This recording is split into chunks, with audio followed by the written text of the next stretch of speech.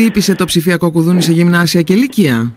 Χτύπησε, όλα ξεκινήσαν να δουλεύουν κανονικά ε, από την πρώτη ενημέρωση που έχουμε. Ε, επίσης στην πρωτοβάθμια εκπαίδευση, δημοτικά, νηπιαγωγεία και όλα τα σχολεία ειδικής αγωγής σήμερα η εκπαιδευτική τους είναι στα σχολεία ε, και ετοιμάζουν ε, όλα τα ε, προβλεπόμενα και τις διαδικασίες και τις αν θέλετε τροποποιήσεις των ορολογιών προγραμμάτων ώστε να είναι όλα έτοιμα και τη Δευτέρα να ξεκινήσει κανονικά το κουδούνι όλοι οι μαθητές και ξέρετε κύριε Σταμαλαδά αυτό που εμείς λαμβάνουμε είναι ότι όλα τα παιδιά και όλοι οι γονείς θέλουν να πάνε στο σχολείο.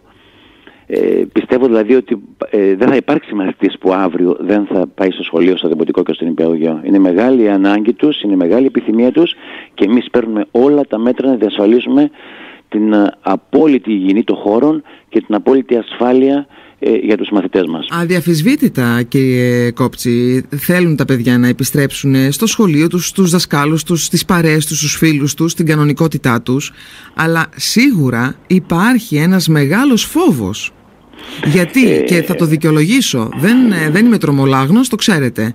Ε, γιατί ακούω πολύ σοβαρά τους επιστήμονες που λένε ότι ακόμη δεν έχουν φανεί οι συνέπειες της συμπεριφοράς μας την πρωτοχρονιά και τα θεοφάνεια.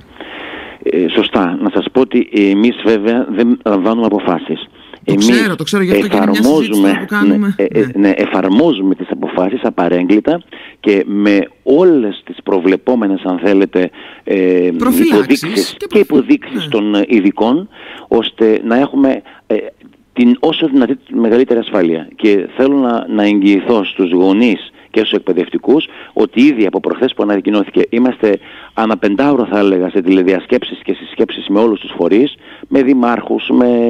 μέχρι το πρωί σήμερα μιλούσαμε με τους δημάρχους για τελικές λεπτομέρειες, με τους διευθυντές εκπαίδευσης να τηρηθούν πρώτον όλα τα μέτρα τα οποία ίσιαν, διαφορετικός αυλισμός, ε, ε, έφτασε, με μάσκες. Έφτασε, έφτασε η εγκύκλιος για την επανεκκίνηση των διαζώσης μαθημάτων; Ναι, είχαμε χθες ε, μια τηλεδιάσκεψη, λύθηκαν όλα τα θέματα με την πολιτική ηγεσία και σήμερα φεύγει και από μένα τώρα σε λίγο από την Περιφερειακή Διεύθυνση δηλαδή μια εγκύκλειος που αφενός μεν ε, αναφέρεται στα μέτρα τα οποία πρέπει να τηρούν και τα τήρησαν απαρέγκλητα οι εκπαιδευτικοί και οι μαθητές μας. Και δεύτερον τα δύο νέα μέτρα είναι η, όπως το, θα το ξέρει όλος ο κόσμος η κλιμακούμενη προσέλευση και αποχώρηση των μαθητών ε, που σημαίνει δηλαδή μία-δύο τάξεις ανάλογα με το τι ο Σύλλογος Δασκότου θα αποφασίσει και με τις συνθήκες ιδιαίτερες του κάθε σχολείου, ώστε 8, 8 και 4, 8 και μισή σε τρία στάδια πιθανότατα θα πηγαίνουν οι μαθητές στο σχολείο ώστε να μην υπάρχει συγχρονισμός. Και θέλω να, εδώ να κάνω μία έκκληση στους μεν εκπαιδευτικούς απαρέγκλητα να τηρούν όπως τήρησαν σε συνεργασία με τους μαθητές και τους γονείς όλα τα μέτρα στο σχολείο και είχαμε 0,6 στην Κεντρική Μακεδονία ε, αν θέλετε μεταδοτικότητα ε, και θέλω να την, να την εκμηδενήσουμε, να μηδενίσουμε αυτή τη μεταδοτικότητα φέτος τώρα με το ξεκίνημα αυτό. Και δεύτερον να παρακαλέσω θερμά τους γονείς όταν πηγαίνουν τα παιδιά τους και τα αφήνουν στην είσοδο και θα παραλαμβάνει ο εκπαιδευτικός να φεύγουν. Όχι πηγαδάκια, όχι συζητήσεις, μπορούν να το κάνουν με χίλιους δυο τρόπους. Με Viber, με τηλέφωνο, ε, με Skype, μπορούν να κάνουν σήμερα πια έχουμε εξυγχρονιστεί. Αυτό που περιγράφεται κύριε Κόπτσι είναι που με τρομάζει και με φοβίζει. Δεν είναι ότι το Υπουργείο δεν έχει δώσει τις σωστές οδηγίες προς τους εκπαιδευτικούς ή ότι οι Δήμοι δεν θα κάνουν τις απαραίτητες απολυμάνσεις ή ότι δεν θα έχουν το απαραίτητο προσωπικό, προσωπικό καθαριότητας. Αυτά είναι. Ναι. Αυτά υπάρχουν. Εμένα με τρομάζει η ατομική ευθύνη του καθενός που δυστυχώς δεν την έχω δει όλη αυτή την περίοδο του lockdown, ανεξαρτήτως σχολείων, καταλαβαίνετε τι εννοώ, ναι. αδικώντας βέβαια με αυτό που λέω τους ανθρώπους που έχουν στερηθεί αυτούς τους δύο και πλέον μήνες πάρα πολλά πράγματα και μένουν πραγματικά ε, κλειδωμένοι και πολύ προσεκτικοί μέσα στα σπίτια τους. Πείτε μου λίγο τώρα κάτι. Είναι στην ευχαίρεια, ναι. είναι στην... αυτό με τρομάζουν. Να απαντήσω μόνο σε αυτό αν θέλετε κύριε Σαμολαδά. Ε, ότι μέχρι τώρα υιοθετήθηκε από την εκπαιδευτική κοινότητα και από τους μαθητές μας, τους μικρούς των υπηαγωγείων όλη αυτή η στάση που ήταν εξαιρετική. Είμαι σίγουρος ότι και τις οδηγίες που δώσαμε στους εκπαιδευτικούς θα τηρηθεί απαρέγκλητα από τους γονείς. Θα πηγαίνουν και θερμή παράκληση. Είναι το μοναδικό πρόβλημα που φοβόμαστε ειλικρινά σας λέω στην επαναλειτουργία των σχολείων. Αφήνουν τα παιδιά τους και φεύγουν στο σπίτι τους. Μακριά από συνοστισμό, μακριά από πηγαδάκια. Δεν πρέπει να γίνει αυτό. Είναι ο μόνος κίνδυνος και είμαι σίγουρος ότι θα τον ακολουθήσουν οι γονείς. Ε, ναι. Πείτε μου λίγο τώρα κάτι. Είναι στην ε, ευχέρεια του κάθε διευθυντή δηλαδή να ορίσει τις ώρες προσέλευσης και τις ώρες αποχώρησης; Ακριβώς ε, ανάλογα με τις ιδιαίτερες συνθήκες του σχολείου. Μέσα σε βέβαια σε επιτρεπτά όρια, καταλαβαίνετε. Δηλαδή θα μιλάμε από τις 8 μέχρι τις 8.30, 9 παρακάτω, έστω σε να μην ε, επιβραδύνεται αρκετά η αποχώρηση των μαθητών, ούτε να έχουμε από τις 7.30 για παράδειγμα προσέλευση, δεν είναι δυνατόν. Αλλά μέσα στο, μεταξύ του 8 και 8.30, 9 παρακάτω να έρχονται οι μαθητές κλιμακούμενα όπως θα αποφασίσει. Εμείς βέβαια βάλαμε κάποιες προδιαγραφές στη δική μας περιφέρεια με τους διευθυντές εκπαίδευσης ε, και επειδή δεν υπάρχουν σαφέστατες οδηγίες και υπάρχει αυτή η αυτονομία της σχολικής μονάδας θα επιδιώξουμε και εμείς να έχουμε αυτή την αυτονομία, να τους δώσουμε την αυτονομία μέσα σε ένα πλαίσιο όμως το οποίο θα είναι πάρα πολύ λογικό και για τους γονείς.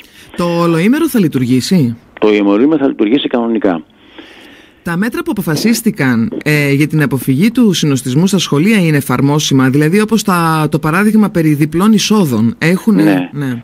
Όπου ε, δώσαμε και οδηγία και μάλιστα σε επαφεύγει τώρα μια εγκύκλειος, όπου υπάρχουν δύο ή τρεις εισόδοι θα ανοίγουν υποχρεωτικά όλοι. Θα μπαίνουν τα παιδιά μοιρασμένα, ακόμη και αν είναι και δύο-τρία τμήματα. Θα πηγαίνει το ένα τμήμα από τη μία είσοδο από την άλλη. Πρέπει να τηρήσουμε απαρέγκλητα, αυστηρότητα τα μέτρα και είμαι σίγουρος ότι θα φτάσουμε στο 0% σε διασπορά φέτος από το ξεκίνημα αυτό. Τι θα σημαίνει κύριε Κόπτσι ο εμβολιασμός των εκπαιδευτικών για την ανάπτυξη ενός τείχους προστασίας στην κοινότητα; Ε, είναι δύο εξαιρετικές ε, θα έλεγα ενέργειες του Υπουργείου Παιδείας. Ε, το ένα είναι αυτό ότι κατά προτεραιότητα εμβολιασμός το ζητούσε η εκπαιδευτική κοινότητα που κρίθηκε άμεσα το Υπουργείο Παιδείας θα σημαίνει ότι δεν θα υπάρχει κανένας κίνδυνος ακόμη και με το συνοστισμό που λέγαμε ακόμη και με την πιθανότατη διασπορά που θα υπάρξει αν υπάρξει που δεν υπήρξε μέχρι τώρα, να διασφαλίσουμε με τους εκπαιδευτικούς και από την άλλη πλευρά τους μαθητές, οι γονείς με κάθε μέρος, κάθε είδος προφύλαξη, να μην υπάρχει η παραμικρή, αν θέλετε, ο παραμικρός φόβος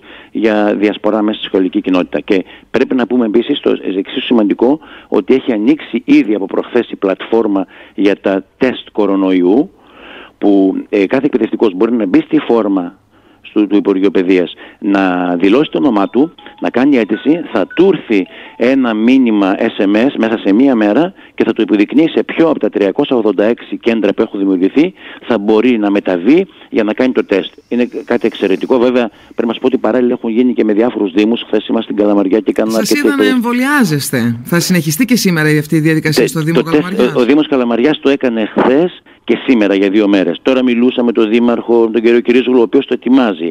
Ε, τα Μουδανιά επίσης. Βλέπω και μια κινητικότητα από τους Δήμους πολύ μεγάλη, ανεξάρτητο βέβαια είναι αυτό του Υπουργείου, αλλά ξέρετε είναι αυτό που έλεγα και χθες. Όταν είμαστε ενωμένοι, οι δυνάμεις μας και η αποτελεσματικότητα πολλαπλασιάζεται. Και η εκπαιδευτική κοινότητα, Υπουργείο Παιδείας, η τοπική αυτοδιοίκηση, όταν πάμε όλοι μαζί να ξέρετε ότι θα μηδενίσουμε αυτό το φόβο για τη διασπορά του κορονοϊού. Θα τα καταφέρουμε, να είστε σίγουροι λίγους μήνες ακόμη όπως λένε οι ειδικοί έχουμε. Ε, με την απειλή αυτή θα το ξεπεράσουμε και θα ανοίξουμε τα σχολεία μας γιατί το έχουμε ανάγκη όλοι μας. Θέλουμε ανοιχτά σχολεία. Κύριε Κόψη, με προβληματίζει κάτι ότι όλα καλά αυτά με τις οδηγίες και τις εγκυκλίους. Ε, οι διευθυντές είναι αποφασισμένοι να ξεπεράσουν τα στερεότυπα, τα ταμπού δηλαδή και να είναι πιο παρεμβατικοί αν θέλετε ή με μεγαλύτερη επέμβαση και τόλμη απέναντι στους γονείς που πιθανόν ένα παιδί καμιά φορά ξεφεύγει και λέει πράγματα που συμβαίνουν μέσα στο σπίτι ενώ ένας γονιός μπορεί να θέλει να κρύψει. Ε, δηλαδή το να υπάρχει ένα ύποπτο περιστατικό στο σπίτι και μέχρι να βγει το τεστ ο γονιός να στέλνει το παιδί στο σχολείο λέγοντας του μην τολμήσεις και πεις τίποτα.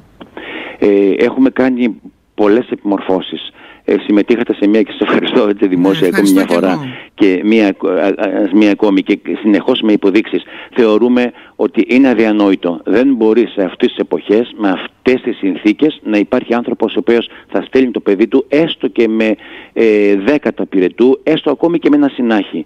Πρέπει να πάρουμε τα μέτρα μας. Υπάρχουν σαφείς οδηγίες του Υπουργείου Υγείας που έχουν διαβαστεί με το, μέσω του Υπουργείου Παιδείας σε όλες τις σχολικές μονάδες για τα μέτρα προφύλαξης, για το πώς το κάθε παιδί το οποίο θα έχει παραμικρά συμπτώματα πρέπει να αντιμετωπίζεται.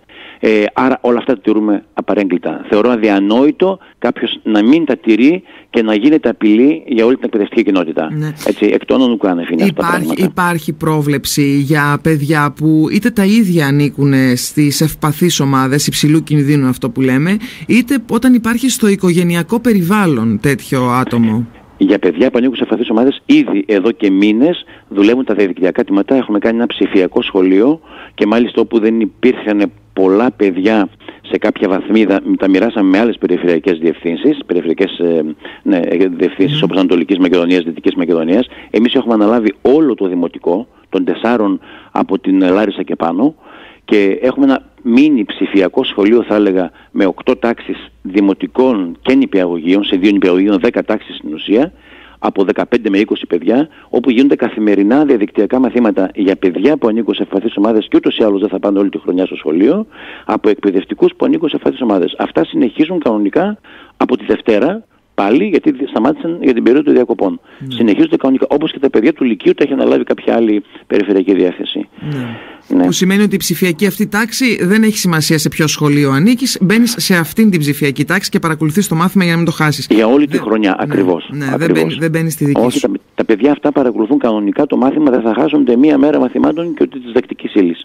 Τώρα, κοιτάξτε, ε, μέχρι και εχθέ είχαμε αυτή τη συζήτηση. Θα ανοίξουν, δεν θα ανοίξουν και σήμερα περιμένουν κάποια. Εσείς όμως ξέρετε ότι ανοίγουν τη Δευτέρα. Τα σχολεία ξεκινάνε τη Δευτέρα κανονικά. Ναι. Όλοι θα είναι σε θέσεις του, όλοι οι μαθητές τη Δευτέρα θα είναι στα σχολεία. Μάλιστα. Κύριε ναι. Κόπτση, σας ευχαριστώ θερμά. Καλή δύναμη να ευχηθώ, γιατί τώρα από Δευτέρα έχετε τα καινούργια ζόρια. Ευχαριστώ και στην Ελλάδα. Φέτος η χρονιά, από πέρσι μάλλον θα έλεγα, δεν σταμάτησε. Δεν καταλαβαίνετε. δεν υπάρχουν ζόρια. Υπάρχει γενικώ ένα ζόρι μεγάλο μόνιμο. Έτσι, έτσι. Ε, είμαστε όλοι μαζί, θα αντιμετωπίσουμε. Είστε Για, είμαστε... Έτσι είναι. Έτσι είναι. Για τα δύσκολα είμαστε εδώ και τα εύκολα είναι, καταλαβαίνετε.